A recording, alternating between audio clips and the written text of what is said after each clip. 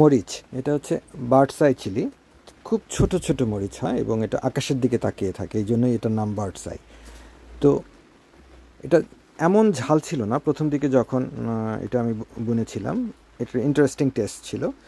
তো যেহেতু আমার বাগানে নাগাও থাকে, তো আসলে ওইটার সঙ্গে হয়তো ক্রস হয়ে ঝালটা আসলে প্রচণ্ডভাবে বেড়ে গেছে, বের হয়ে বেড়ে গেছে আর কি।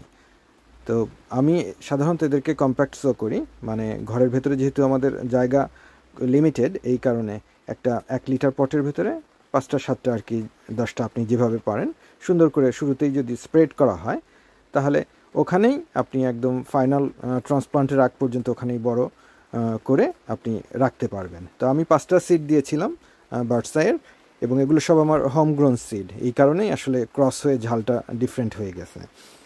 তো দশ লিটার পটে ট্রান্সফার করছি। একই পদ্ধতি যে প্রথমেই আসলে পুরো পটটা আমি কখনো মাটি দিয়ে ভরি না। প্রথম দিকে এরা ওই একটু গ্যাপ রাখি, পাঁচ ছয় ইঞ্চি গ্যাপ রাখি এক লিটারের ভেতরে।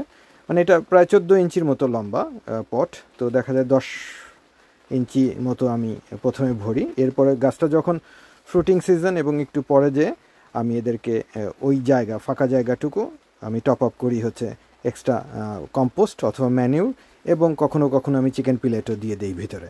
তো এভাবে করছি এবং ফাইনাল টাচ হিসেবে প্রত্যেকটা পটে একটা করে করে মানে কম্পেনিয়ান প্ল্যান্টিং যেটা কম্পেনিয়ান প্ল্যান্টিংয়ের অনেক উদ্দেশ্য আছে। তার ভেতরে এখানে আমি তিনটা বলছি। এটা হচ্ছে একটা স্পেসের একটা জায়গার সম্পূর্ণ মানে পূর্ণাঙ্গ ব্যবহারের জন্য কম্পেনিয়ান প্লান্টিং করা হয়। পটের একটা জায়গাতে একটা কোণে আপনি যদি আর একটা গাছ দিয়ে দেন, এটা নির্বিঘ্নে হয়ে যায়, কোনো সমস্যা হয় না। একটা স্পিনাচ দিলেও এখানে হয়ে যায়।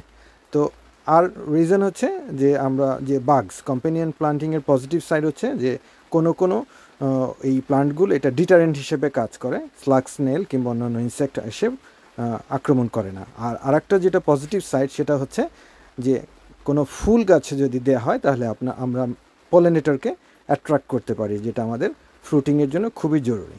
মাটি আমি নর্মালি অন্য অন্য যেভাবে তৈরি করি, এটার ক্ষেত্রে একই অবস্থা।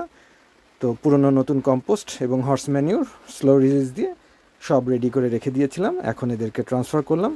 জাস্ট আমার ট্রিপল বাকেট সিস্টেমের ভেতরে সব এরা ঢুকে যাবে আর কি। এখানেই তারা মানে ফ্রুটিং হবে। ধন্যবাদ।